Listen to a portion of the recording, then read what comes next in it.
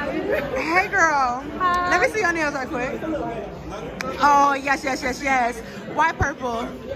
I love purple. That's your favorite color? Yeah, and uh, I don't have no purple in mine. But your is so good. Oh my goodness. And you got glitter in your hair too? Yeah. You came prepared, didn't you? Yeah, Okay. Yeah. Cause as a girl, you know, your nails, your hair, everything dead. Like you could do anything on the track, right? Aww. Right, exactly. and I want to talk about you in particular because you have a special story.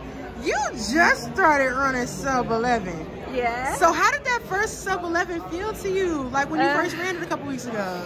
It's so good. I saw excitement. Excited? Excited? Excited? Yeah, yeah, yeah. I, I'm so happy about that. Uh, I work uh, for this too many years. And uh, my dream come true. Oh, your Now. dream? Yeah. So what's the next dream? Because if that dream came true, we have another one, right? Final. Oh, don't worry about it, girl. You got Yeah. this. You got this. Now look, the last thing I want to ask you is, you know, you got a lot of tattoos. Yes? Can you tell me which one is your favorite one and why you got it? That one? Why that one? Why that one? Because uh, it's mean 100, 1 million words. nice job, girl. Thank you.